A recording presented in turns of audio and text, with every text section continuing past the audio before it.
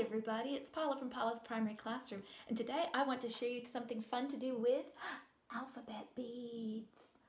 So you'll notice that some of them are not sorted so the very first thing to do is to let the kids sort them and I've just got a little tackle box or a thread box from a craft store to use for that. And then once those are sorted out the children can build words. So I've got some little uh, CVC word cards, uh, the the three letter words, consonant, vowel, consonant. So simple words that your kids can sound out easily. Teeny tiny pieces of pipe cleaner and the kids just simply put them onto, is that backwards over there? Be nice if I did it forwards. The kids put them onto the little pipe cleaner to sound out the word. And then of course they just go on to the next card.